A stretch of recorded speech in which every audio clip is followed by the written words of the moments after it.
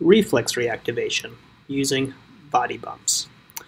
What we're doing is we're placing the patient in a supported position and we're using manual perturbations to create a quick stretch of the muscles that are maintaining that position.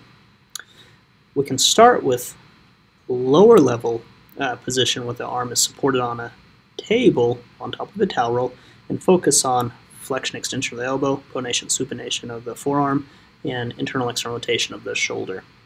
We can further challenge this position by having him reach up towards the ceiling and create the perturbations in an unsupported position.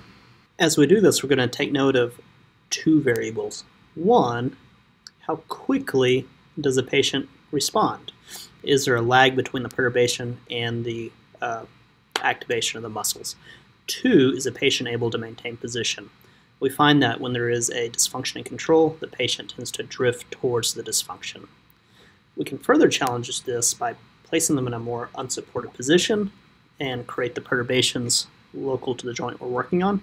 And as we do that, we find that the challenge uh, is, is enhanced by bringing in control elements from the cervical spine, thoracic, lumbar spine, and also the scapulothoracic.